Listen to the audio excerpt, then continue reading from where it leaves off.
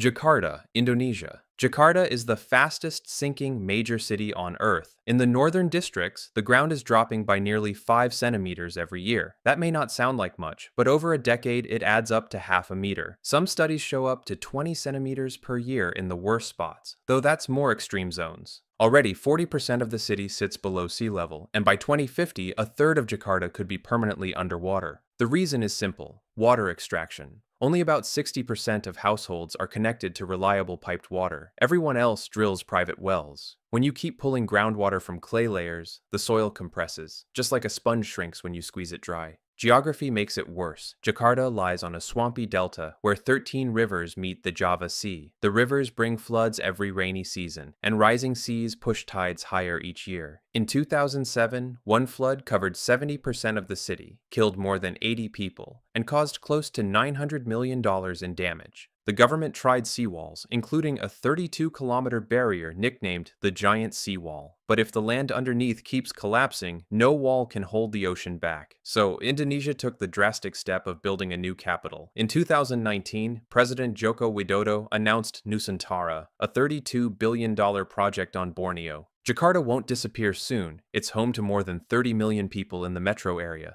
But as a political capital, its days are numbered. Mexico City, Mexico. Mexico City is sinking almost as fast, but for different reasons.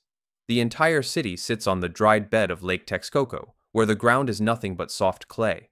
That clay is compressible, and when you pump out groundwater, it collapses. Some districts are dropping 20 to 50 centimeters a year. That's more than any city besides Jakarta. Over the last century, Mexico City has sunk more than 10 meters in total. Imagine a three story building disappearing into the ground. That's how far the city has dropped. The problem is worse because the sinking is uneven. Over volcanic rock, neighborhoods stay stable. Over clay, entire districts tilt. The result is cracked roads, warped pipelines, and damaged infrastructure.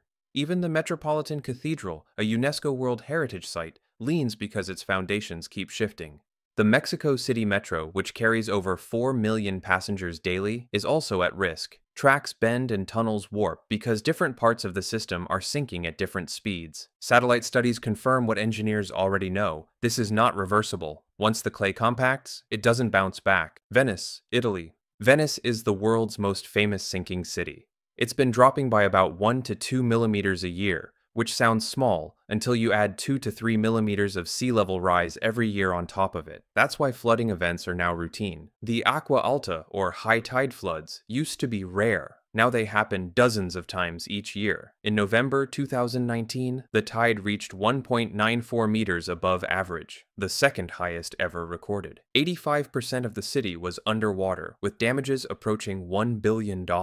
Venice fought back with the MOSE project, a $6 billion system of 78 floodgates installed at lagoon inlets. The gates can rise to block incoming tides, and since 2020, they've been deployed during extreme flood events. They've worked, St. Mark's Square, which used to flood multiple times each winter, now stays dry when the gates are raised. But MOSE is only a defense. The city still sinks, the seas keep rising, and long term projections suggest that by 2100, the lagoon may overwhelm the system anyway. Shanghai, China. Shanghai has risen into one of the tallest skylines in the world, and at the same time, the ground beneath it has dropped by over 3 meters in the last century. The problem is twofold. First, groundwater extraction fueled industry and growth. Second, the city sits on soft alluvial clay, which compresses under the sheer weight of thousands of high rises. At one point, the land was sinking by nearly 10 centimeters per year. The government stepped in. Strict regulations reduced groundwater pumping, shifting the supply toward the Yangtze River. As a result, sinking slowed to under 1 centimeter a year in most areas. That's progress, but it doesn't erase the risk. Shanghai lies only a few meters above sea level. With 26 million residents, even small drops increase the threat of coastal flooding. Bangkok, Thailand. Bangkok is one of the fastest sinking cities in Southeast Asia. On average, it sinks about 1 to 2 centimeters per year. That may sound small compared to Jakarta or Mexico City, but over decades it adds up, and combined with rising sea levels, it's a serious threat. The city was built on a swampy floodplain of the Chao Phraya River, where soft clay layers compress easily. For decades, Bangkok relied heavily on groundwater pumping, which accelerated the sinking. Even after restrictions were introduced in the 1970s, the land continues to settle under the weight of more than 10 million residents and expanding infrastructure. Today, much of Bangkok sits less than 1.5 meters above sea level. The World Bank has warned that large areas of the city could be underwater by 2050, especially during extreme weather events. Flooding is already routine. In 2011, a massive flood killed more than 800 people nationwide and caused $45 billion in damages, with Bangkok at the center of the disaster. Officials have built flood barriers and drainage systems, but like Jakarta and Venice, these measures only slow the problem. With urbanization increasing and climate change pushing seas higher, Bangkok's long-term future is uncertain. New Orleans, USA. New Orleans is a city built below sea level, and it's sinking deeper every year. On average, the city subsides by 6 millimeters annually, though some neighborhoods are dropping by 2 to 5 centimeters per year. The main reason is its location on the Mississippi River Delta. Over centuries, natural sediment deposits built up the land, but levees constructed to prevent flooding also stopped the river from replenishing those sediments. Without fresh deposits, the delta soils compact and the city sinks. On top of that, oil and gas extraction in the region accelerates subsidence by draining underground layers. Add in sea level rise, and New Orleans faces a triple threat sinking land, rising water, and stronger hurricanes. The consequences were on full display during Hurricane Katrina in 2005, when levees failed and 80% of the city flooded. Over 1,800 people died, and damages reached $125 billion.